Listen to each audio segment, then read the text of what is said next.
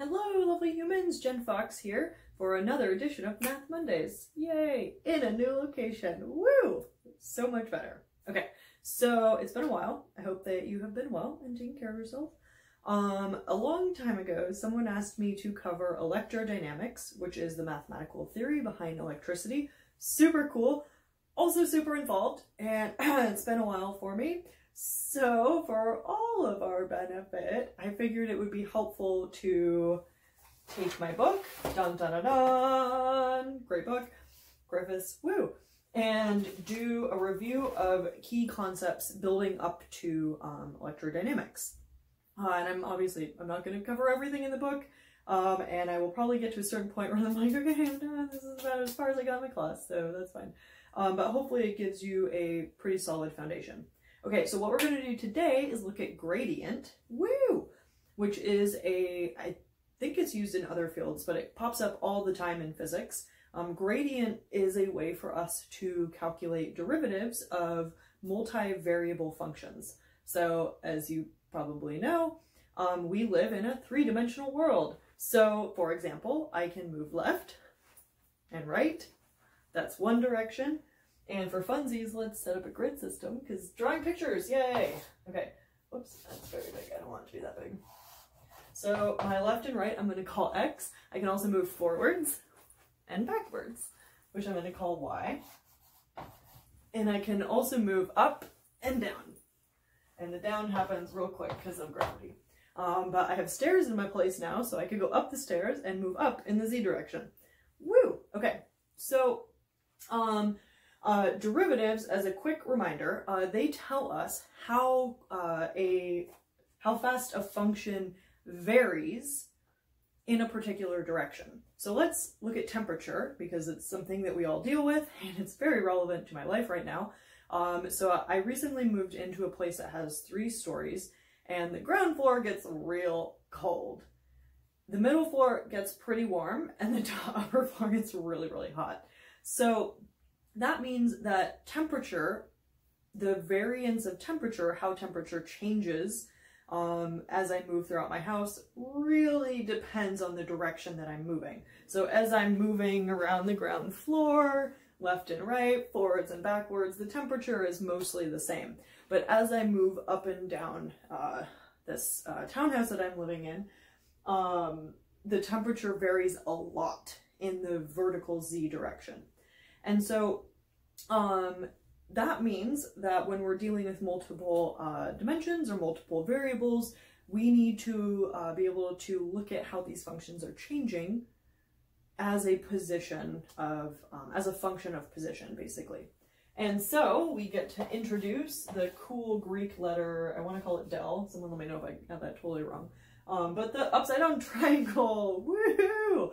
Um, and so this is a symbol um, that we'll define in a second to help us calculate derivatives of multiple variables. Okay, so let's take a look at temperature as a good example and use it to build up a definition of uh, del.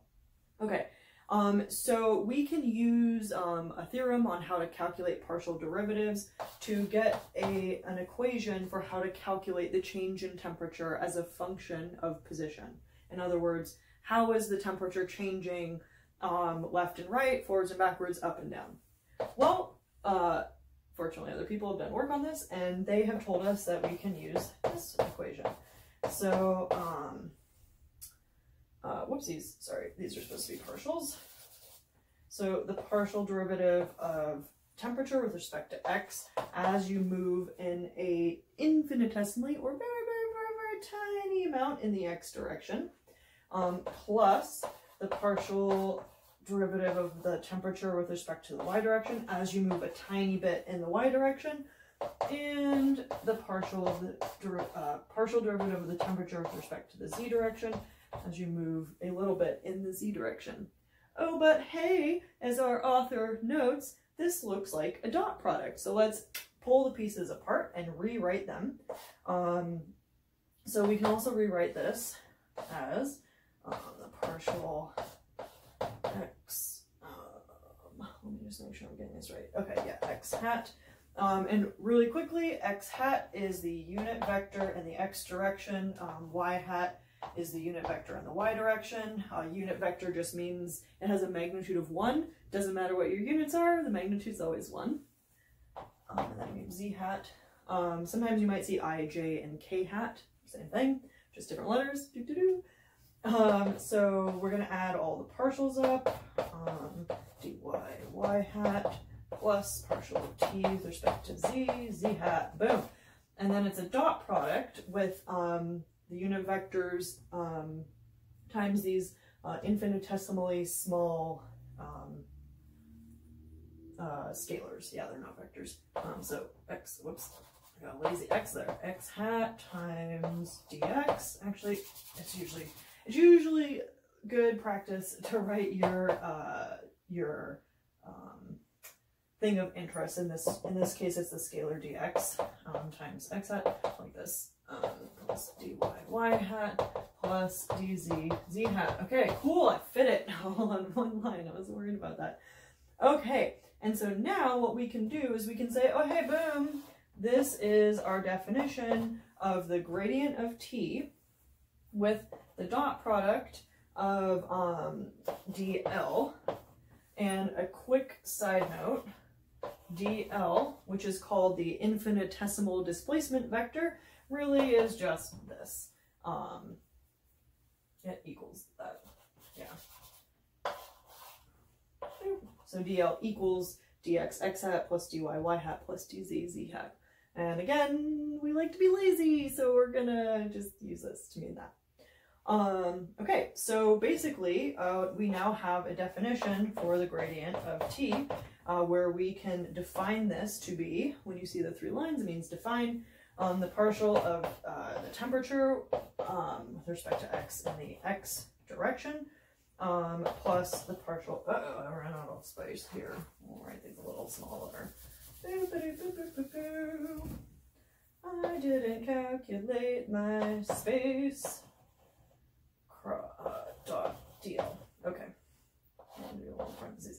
So then uh, partial of t with respect to y in the y direction, um, plus partial of t with respect to z in the z direction. Ding! Okay, so this is the definition of the gradient of t. A little funky, but that's okay. Okay, Cool. So this is actually a vector. Woo, vector! Yeah, we like vectors because they have a magnitude and a direction.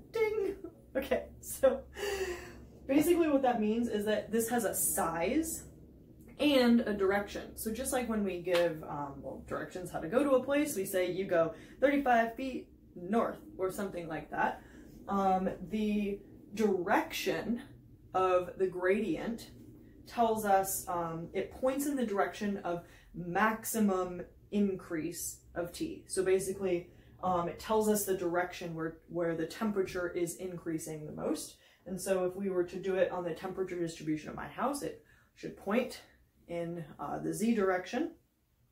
Um, and then the magnitude um, of our, uh, of our um, gradient of t uh, tells us the, the slope or the rate of increase along the maximal direction.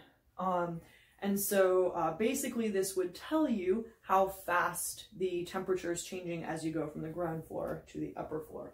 Um, you also could think about it like if you're climbing a mountain and you're standing here, um, then um, we'll give it a little eyes. Yay, we're happy, we're on a mountain, woo! Um, so uh, the, the direction of our um, displacement vector, if we were over here, if we were here, then it would point this way because this is uh, less steep. And the magnitude would tell us how fast uh, that slope is changing. Okay, Cool. So very important. Um, gradient of, the gradient is a vector that has a direction that points in uh, the maximum increase of that function and a slope, which tells us the rate of increase of along the maximal direction. That's really important. Okay, so now that we have our definition, go ahead and write that down or store it in your brainsies. Um, and uh, I am going to give, we're going to do an actual example. Um, yeah, again, if I had more chalkboards, this is where I'd be like, oh, we're going to save this on my other chalkboard one day, one day.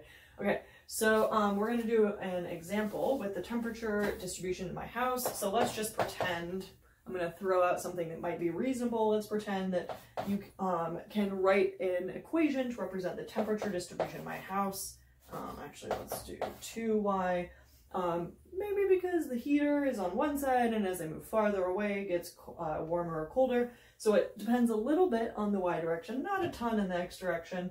Um, and then, and again, this is very, very rough and hand wavy, uh, but to give you a sense. And then let's say um, that we get z squared. Um, so basically you could look at this and say, uh, well, it seems like uh, the temperature in the z direction is changing a lot. So maybe in the z direction it looks like this, in the x direction um, it looks like this, and then the y direction, well, that's that's not that x direction. Like that, and then, well, yeah, okay, it's kind of hard to draw. So let's choose separate axes. Um, uh, so this is going to be x, this is going to be t, so an x it might look like that. Um, technically, I probably should do a flat line. Um, actually, yeah, let's do that. Let's, let's see what happens if you do a flat line. So in this case, let's say that it's 5. Um, and then in the y, we're going to say that it changes a little bit, temperature in y. Um, and then in the z direction, it changes a lot, because it really does. Um, okay, that's way easier for me to draw. Okay, so that seems kind of reasonable actually. Okay, so now how do we calculate um, the gradient of temperature? Well, we just need each of these pieces. So the first thing to do is, okay, well, what's the partial of t with respect to x? Well, x is a constant, so boom, that one's easy, it's zero. Um, so, and then what's the partial with respect to y? Well, uh, 2 times y, that's just going to give me uh, 2. And then lastly, what is the partial with respect to z?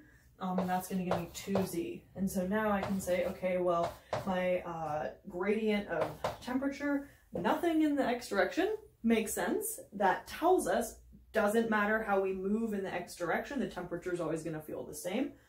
It's kind of actually my experience, so that's kind of cool. Um, so, and then we have uh, 2y, so it'll change a little bit in the y direction, but not a ton. Um, and the other, the thing that's interesting about this too is that it um, doesn't really tell you, well, okay, I'll just leave it at that. Okay, but then the really interesting thing is this. So 2z um, z hat. So this tells me that um, as I change in the z direction, um, the uh, temperature changes um, by 2z. Okay, so I'm kind of hand waving that a little bit. Hopefully you get the idea. Um, and what would really be clutch is is drawing a picture of this. Yeah, um, kind of hard to draw in three dimensions, but you can use computers for this. Okay, so now my challenge to you, my dear lovely math friends and wizards, um, what I want you to do is, um, I'm going to do this in a different color because I can. Okay, so I want you to find the gradient of the following function. Um, f of x equals x squared times y cubed times z to the fourth. So what is the uh, gradient of f of x? And so I want you to do exactly what I did here. So find the partial of f with respect to x, find the partial of f with respect to y, and then find the partial of f with respect to z, and then put them all together in this equation, but you know, replace temperature with f of x. Okay, cool. So now you have a little bit of a challenge. Um, if you want more equations, by all means, just reach out and let me know. And we will continue our series on electrodynamics as I have time. Yay! Okay, cool. Happy mathing, my friends, and have a beautiful day. Bye!